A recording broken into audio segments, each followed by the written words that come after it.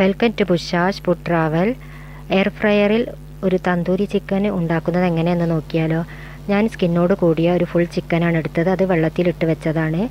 അതിലേക്ക് മഞ്ഞൾപ്പൊടി വിനെഗർ ഉപ്പ് എല്ലാം ഇട്ട് വെച്ചതാണ്.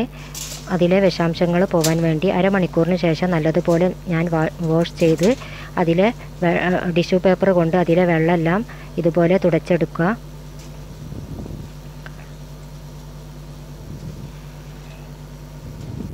എന്നിട്ട് ഒരു ഫോർക്ക് വെച്ചിട്ട് ഇതുപോലെ കുത്തി കൊടുക്കുക. എല്ലാ ഭാഗത്തും നല്ലതുപോലെ കുത്തി കൊടുക്കണം.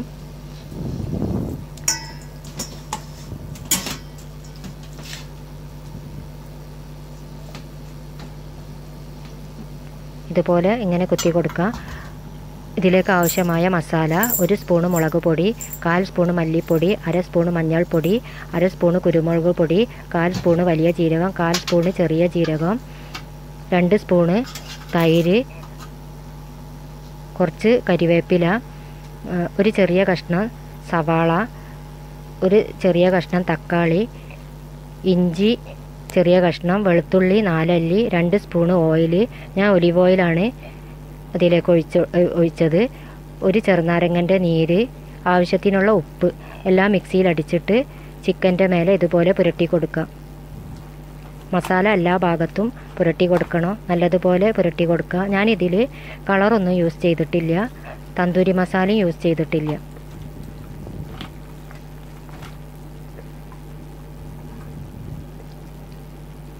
എല്ലാ ഭാഗത്തും മസാല എത്തുന്നത് വരെ പുരട്ടി കൊടുക്കുക.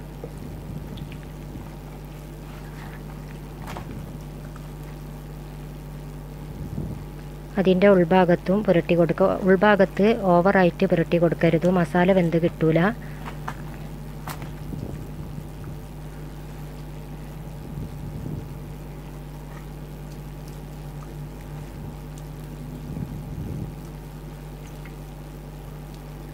ഇത് നമുക്ക് ഫ്രിഡ്ജിൽ നാല് മണിക്കൂർ റെസ്റ്റ് ചെയ്യാൻ വെക്കാം.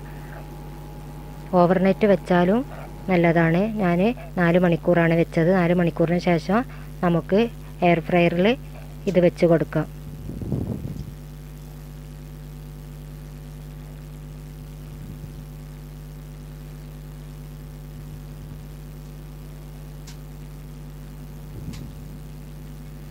എയർ ഫ്രയർ ആദ്യം പത്ത് മിനിറ്റ് പ്രീ ഹീറ്റ് ചെയ്യണം. എന്നിട്ട് നമുക്കത് ഓപ്പൺ ചെയ്ത് എടുക്കാം.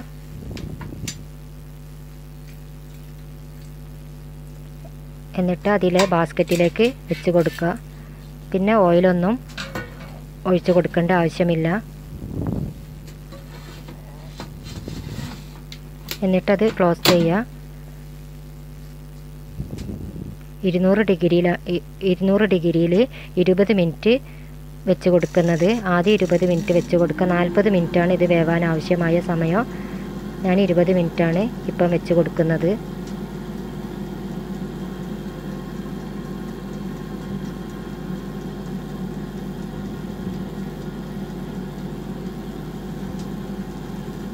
ഇതെനിക്ക് നല്ല യൂസ്ഫുള്ളായ ഒരു എയർ ഫ്രയറാണ് ഞാനിതിൽ കട്ട്ലേറ്റ് സമൂസ എല്ലാം ഉണ്ടാക്കാറുണ്ട്. ഓയിൽ അങ്ങനെ ഒഴിക്കാറില്ല. ഒന്ന് സ്പ്രെഡ് ബ്രഷ് കൊണ്ടൊന്ന് സ്പ്രെഡ് ചെയ്ത് കൊടുത്താൽ മതി. ഒരു ഭാഗം നല്ലതുപോലെ വെന്തിട്ടുണ്ട്. ഇനി നമുക്കത് മറിച്ചിട്ട് കൊടുക്കാം.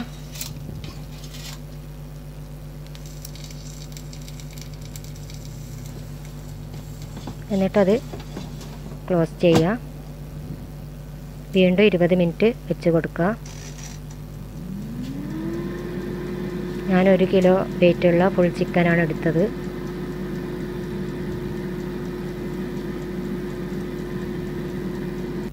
ഇരുപത് മിനിറ്റിന് ശേഷം നമുക്കത് ഓപ്പൺ ചെയ്യാം.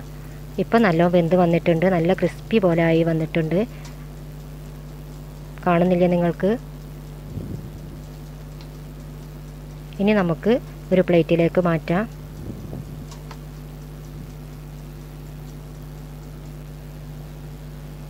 ഇത് നല്ല ടേസ്റ്റുള്ളൊരു ചിക്കനാണ്. ഇൻഷാല്ല കൂടുതൽ റെസിപ്പിയുമായി നമുക്ക് വീണ്ടും കാണാം.